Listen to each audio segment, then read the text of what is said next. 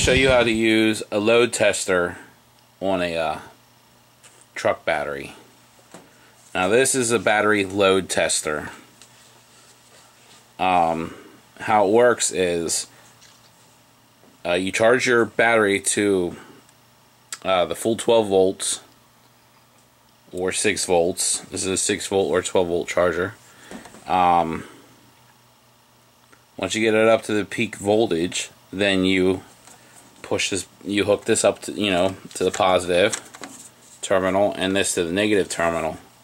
And uh, you push this button and when you push this button it puts a load on the battery. You hold it 5 to 10 seconds 5 should be more than fine.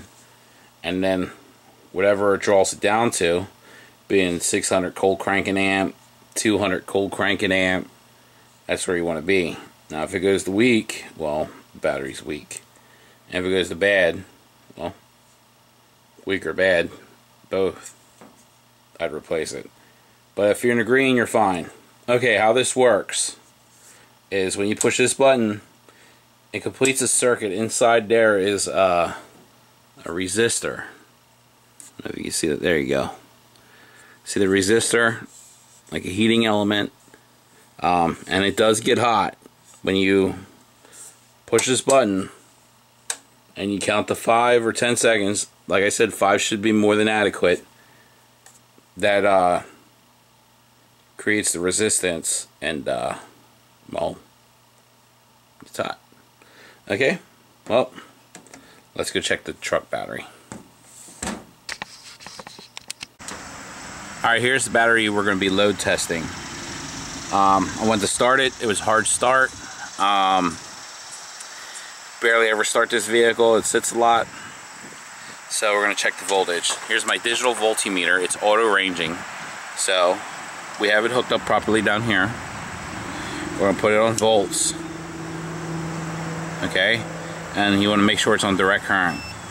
AC stands for alternating current and DC, that well DC or that flat line stands for direct current now as you can see my battery's going dead but it'll make it through this video. So I got it on direct current. It's auto ranging so you don't have to uh, adjust it like on some multimeters. You'll see 20 200 and 2000 DC and same as for AC you don't have to do this. You just put it on V and it ranges itself.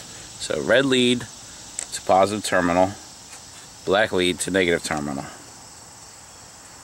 Now you got 11.75. Now it's supposed to be around 12.62 is the goal. Well, anything north of 12, 12.2. So what we're going to do to do a proper load test, we're going to charge it. Now we're going to use a quick charger right here. The speed charger and the maintainer. But this one, I'm gonna hook it up. It's auto. It's auto. So it's on 6 volt or 12 volt batteries you can charge. You hook it up. It charges the battery to the full to the full um, voltage and the amperage.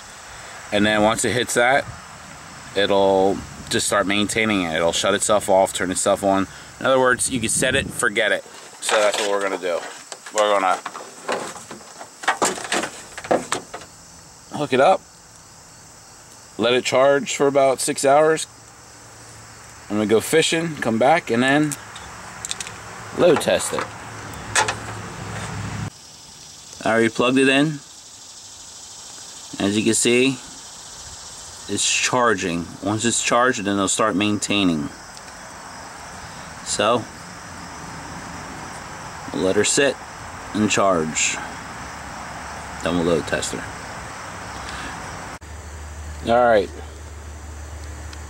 It's finally charged. After a day and a half, it's finally charged. So what we're going to do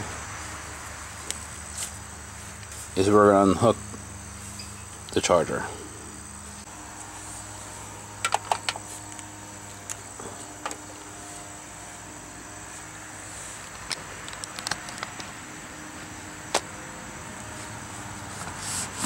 get you a better view. Remove your charger leads. Check the voltage real quick. You don't have to do it this way, I just do it.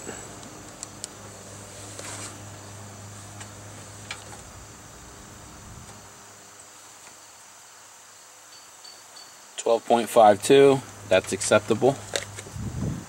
Now let's do the load test. We fully charge the battery. Slow charge.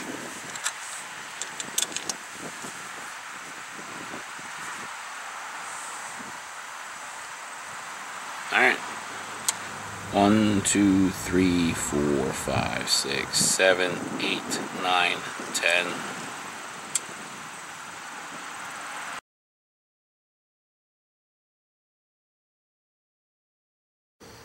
Alright, last battery we uh, load tested was uh, a weak battery.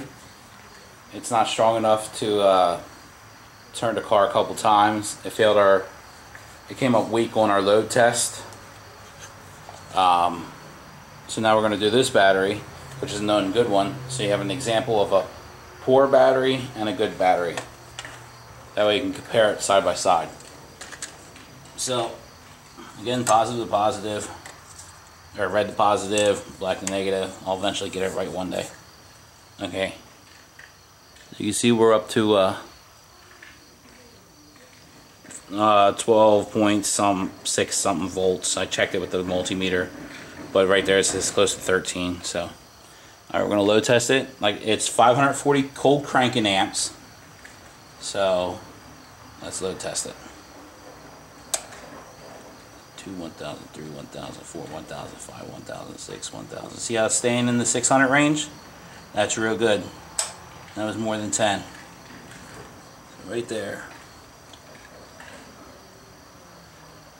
stayed in this 600 range. So, there you go. That's a good battery. The one we tested earlier